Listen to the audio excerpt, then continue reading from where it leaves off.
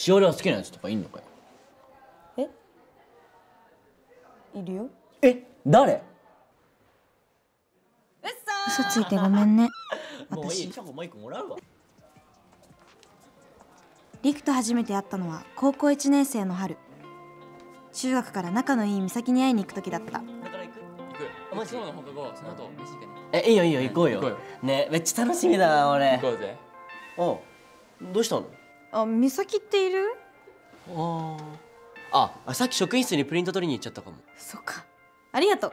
あしおりちゃんだよね。何してるの？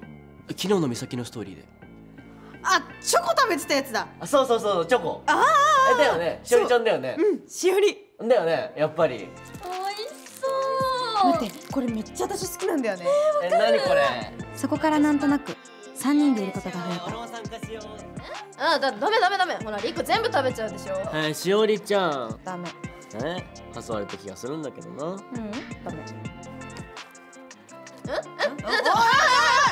ちょはいはいはい。泥棒のリクはなんかいっつもふざけてて。やばい。落ちるやばい。やばい。しおりがすぎるから。ねえちょっと。ね俺に任せろああ美咲美咲置いてくなよ。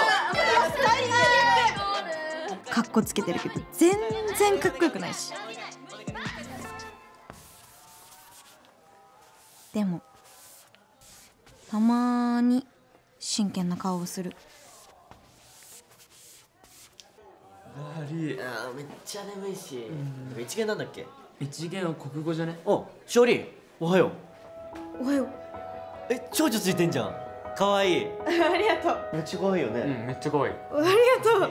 え嬉しい。似合ってる。いいじゃん。だって。あれ？うん。あいいよ。はいチーズ。リクは鈍感だからきっと私の気持ちには気づかないよね。これ漏れてるくない？めっちゃいいじゃん伝えてしまいたいけど。けど。美咲遅先生に捕まってんのかな？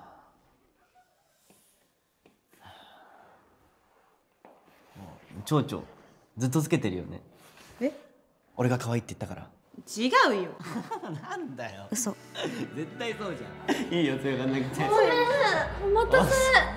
先生に怒られた気づいた時にはもう捨てられないくらい大きくなっていて渡す予定のないラブレターを毎日こっそり読み返すようなそんな恋だった。この恋をいつかちゃんと忘れられますように。つまらない顔して